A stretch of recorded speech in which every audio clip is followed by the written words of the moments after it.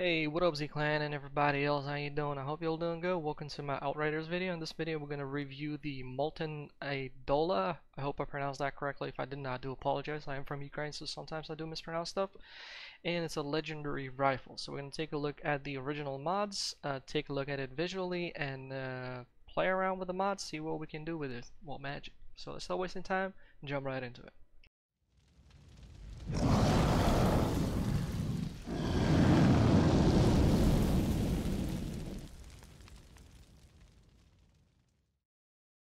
Alright, so let's first take a look on the weapon visually. And visually it looks great as all other legendary weapons. They're kind of like all unique and uh, have their... I'm just amazed. I, absolutely love it. I love the fire, I love the skeletons, I love that skeleton over there. It's actually pretty cool. Uh, let's take a look how the weapon's going to look on the character. So you can see it right here, but we're going to exit this menu and watch it through this moment right here. So it looks just beautiful and on your back as well.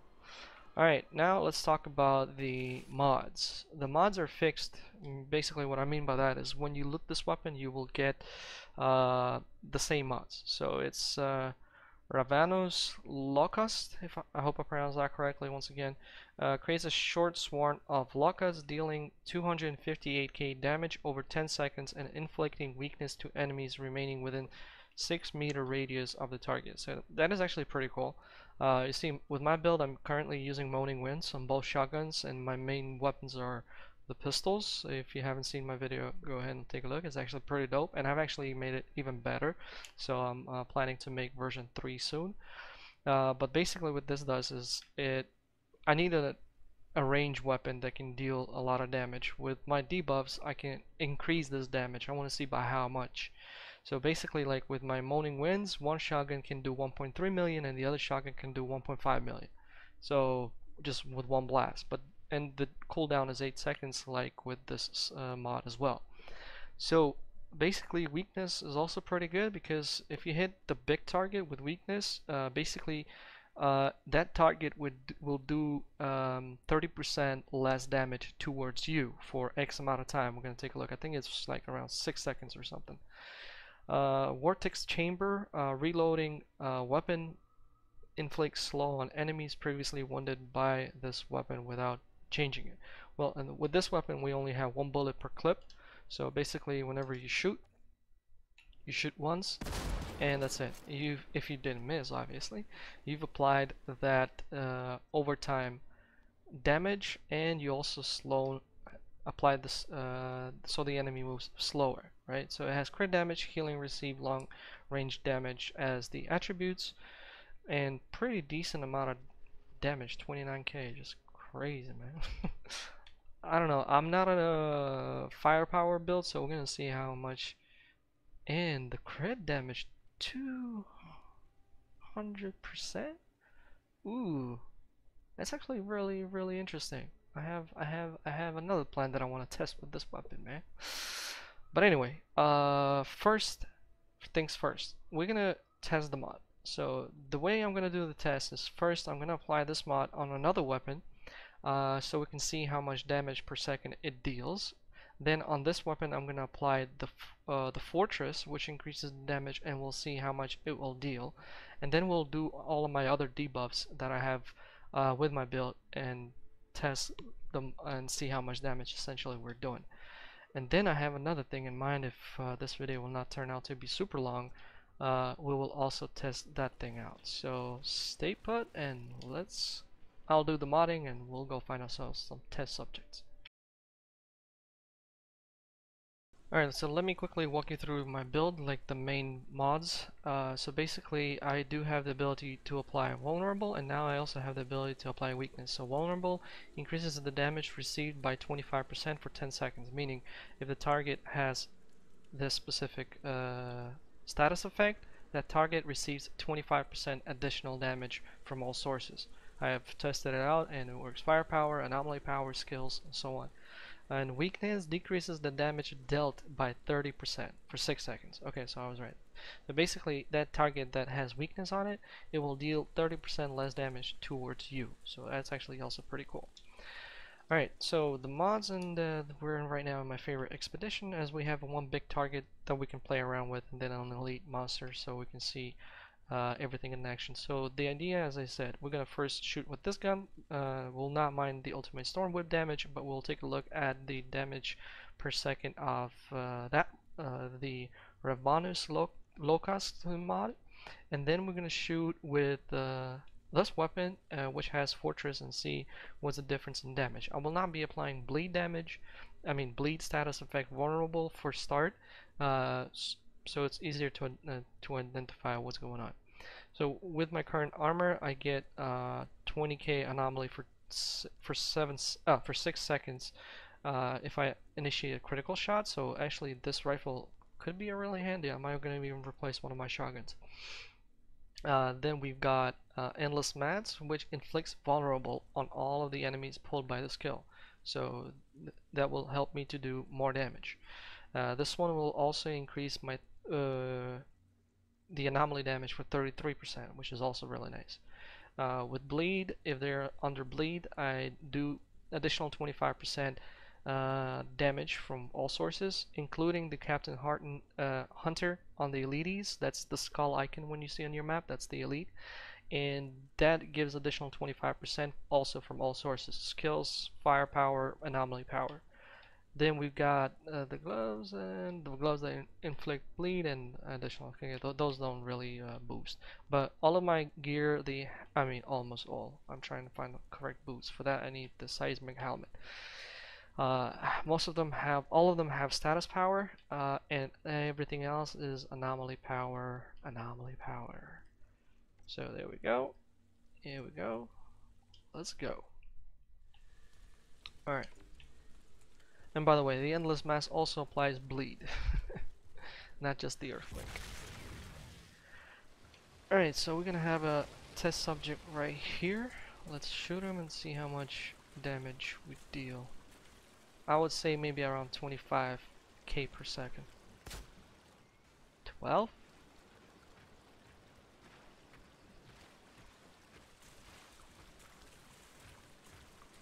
That's per millisecond, right? Okay, what about 17? There you go. I'm 5k better. Mm hmm Get out of here, man.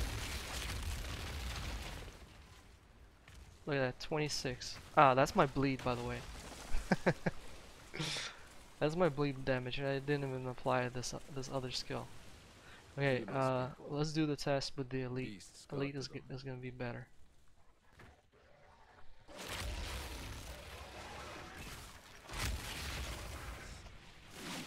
Hey, cockroach.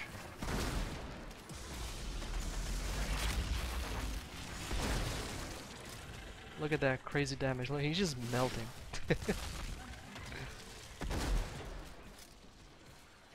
It's actually pretty good.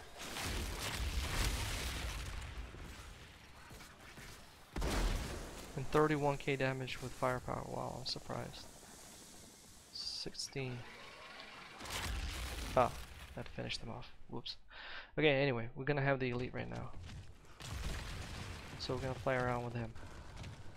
Hope he doesn't die quick.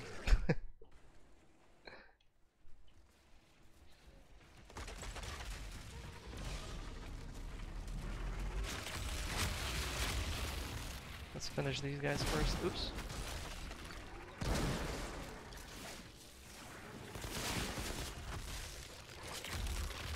Without damaging the elite guy. Whoops, come on man, I don't want to kill you. Alright, so he is taking some hits and that's from my bleed. Okay, and by the way, my golem also increases my anomaly power. Boom. 12.7k. I assume it's like half a second. 18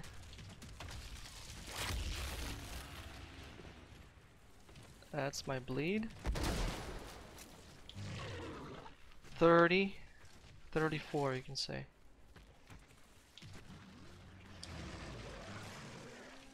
a debuff. Additional bleed, boom. 62 plus my bleed. That's 30. Shh, that's 100k per second.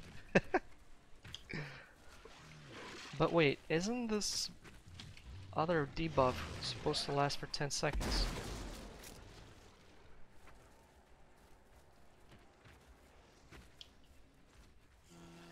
Well, he died. Let's restart that. Alright, so I just uh, restarted my game in the same expedition. By the way, you might have not known this, but if you fail, for example, the expedition or you restart, uh, make sure to look for a chest and you will receive some loot. Uh, the rewards are based on how far you progress in the expedition. So, like for example, if you died on the final boss, you should get a lot of uh, loot over here. So I just discovered this like yesterday. Alright, so I actually rewatched the previous clip and uh, I was doing 12 per half a second, so it's not seconds. So it was 24k damage per second. So it was all it was I was right. So it was around 25. Cool. All right, so that is actually pretty dual, uh, pretty cool. Let's apply bleed and vulnerable and shoot him with this gun and see how much damage we're dealing. So bleed is there.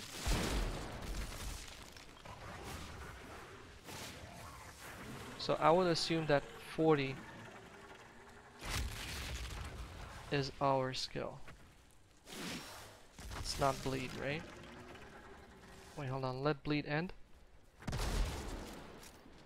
Yeah. 40 was our skill that we did. Because if this is this does 23 damage, damn man, this is it's actually pretty nice. Let me deal with these guys real fast and then we'll do the final test with the big one and that's it. I don't I didn't see doing a lot of crits for this one get out of here.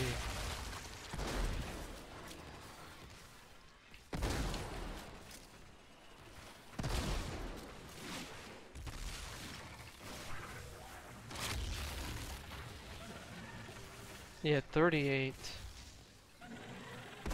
Get out of here.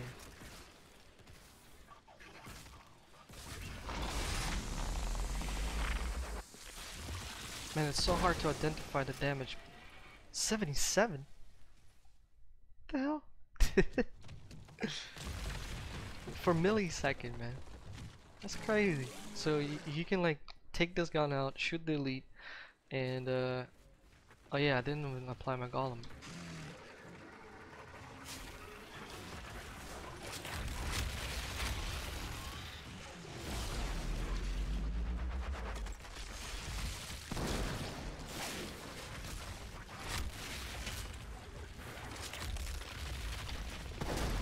Come on. Alright, so there he is. He's taking bleed damage right now for almost 20k. And now we're applying bleed. Ah, damn it. It's got this resistance thing. So with bleed damage, boom. Yeah, 30, 40. Come on. Damn, way too many numbers. But he's just like dying, I'm not even doing anything. 50. Come on, vulnerable, let's go.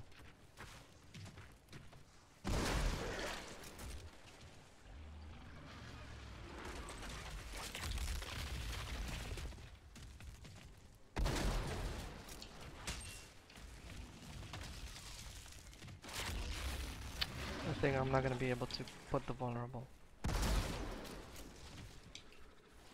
But yeah, that's a lot of freaking damage. So I, my idea is, place a debuff. Since this weapon doesn't have a lot of ammo, you just shoot the big guy, switch to whatever other weapon you got. While he's taking damage, you just blast everything else, right? Actually, check this out. One million. A little, another million. Yeah, so that was uh, Moaning Winds. uh, but, I mean, it's a good thing because they only got one bullet. Yeah, because usually I'm unloaded all the time and shooting one bullet and initiating a reload. It shouldn't be a big deal. Plus, if you hit the target, you also inflict uh, more damage, and then I just switch to my pistols, and that extra damage will start benefiting from Fortress. And plus, the these death chains is good. Uh, the only thing is just need to get used to it. but I'll see if I'll be using it. Well, Moaning Winds is another good thing for this weapon. Uh, with firepower, I don't know, I would put something else most probably. Uh, but I haven't done any firepower builds, only anomaly. But anyway, still much to think about. Hope you enjoyed this video, and if you did, don't forget to hit that like, comment down below. Please make sure not to use profanity as those comments get triggered by YouTube. Nobody see them, nobody can read them, nobody can respond to them. So if you got something to say, feel free to comment positive, negative, just don't swear. Simple as that. If you're new and you subscribe, welcome to Z Clan. I'm Gamer Z Soul from Ukraine. So I'm from Ukraine. Once again, thanks all for watching. You all have a good Monday and night. Whatever you guys lock in at, I'll see you in the next video. Bye.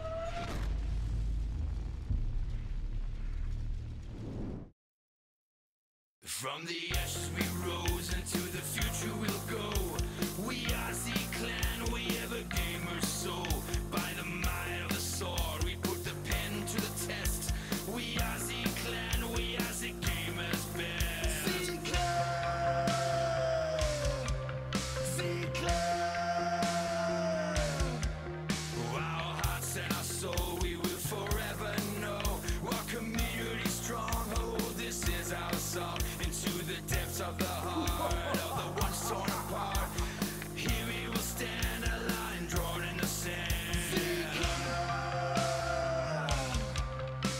decline.